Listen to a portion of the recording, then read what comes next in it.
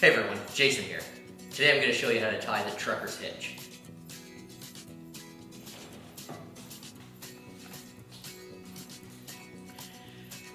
The trucker's hitch is an important knot to know and can be used not only to secure a load on a trailer or tie down a canoe, but can also be used around camp to set up a ridge line for your tarp.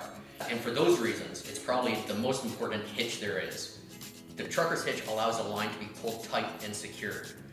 Once the line is pulled to the desired tension, using the pulley effect of the loop in the middle of the line, the knot is secured with a couple half hitches around one or both lines.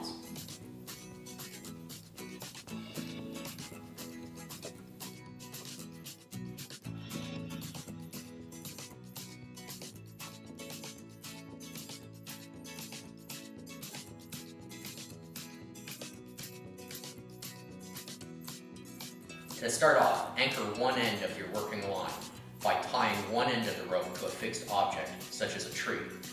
A bowline knot is perfect for this. About midway on the rope, tie a slippery half hitch to form a loop in the middle of the line.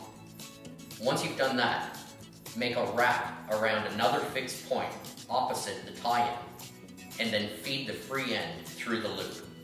Using the loop as a pulley, just pull down with the free end as tight as you can and secure the knot with two half hitches around one or both lines.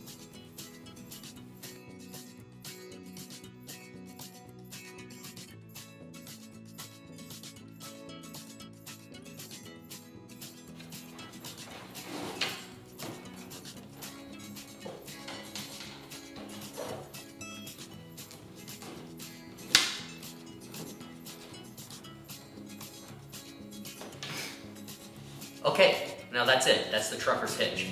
Thanks for watching.